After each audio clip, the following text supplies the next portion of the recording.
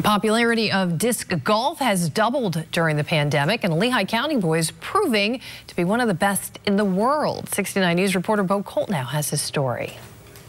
Back on a straight line and all the way forward. Leading a clinic, any clinic, like this one at Camp Olympic at the age of nine, means you're probably pretty good.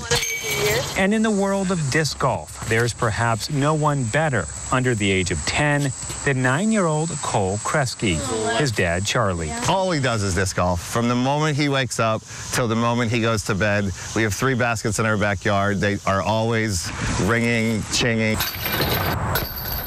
And all that ringing and chinging is paying off. From Slatington, Pennsylvania, Cole.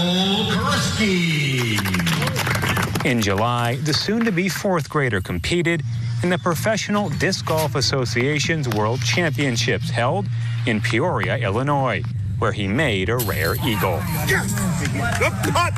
He finished second, but still maintains the world's highest rating for those under 10. What do you like about disc golf so much? Just watching the disc fly. And Cole started at the age of three. By nine, he already has sponsors, like Andrew Klein, owner of Out of Bounds Disc Golf. It's amazing what the kid can do, and his love for the game, kind of unmatched. Even in the snow, as he plays year-round. Have you ever had a hole-in-one?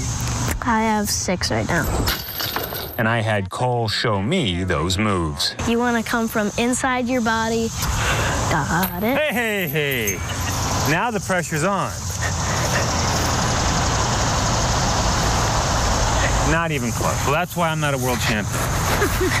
well, not one yet. Yet being the key word.